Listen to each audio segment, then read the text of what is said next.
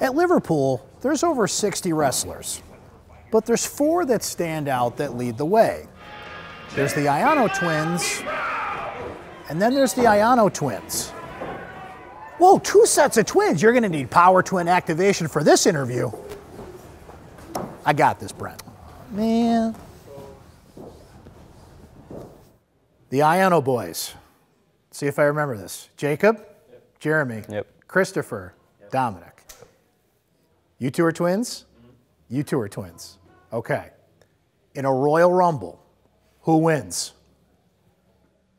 I think it's the oldest. I think the oldest wins.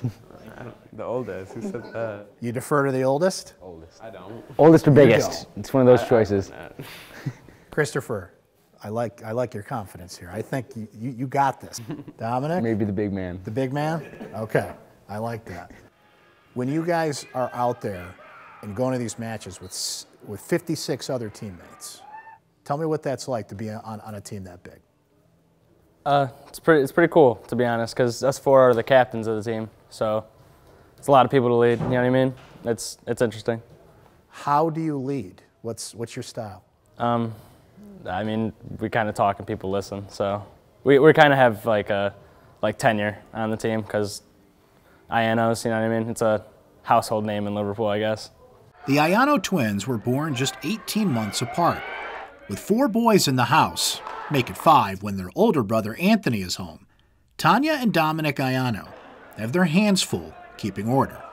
Some days it's rough, but uh, you know the food and the fighting and the fooling around it, it it always keeps me busy. Like I say, never a dull moment. You know, twice the work, twice the fun, and like they keep us busy. What's it been like to see this journey for the boys go through wrestling, get into it, become passionate about it, and now being team captain of, of 56 other wrestlers? I mean, I'm, I'm proud. I'm just, I'm just a proud dad. I just kick back. They make me smile.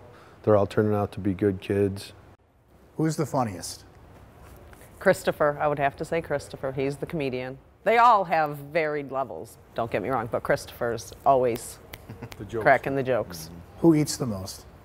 Believe it or not, Jeremy, the the skin, the littlest one, he can eat like nobody's business.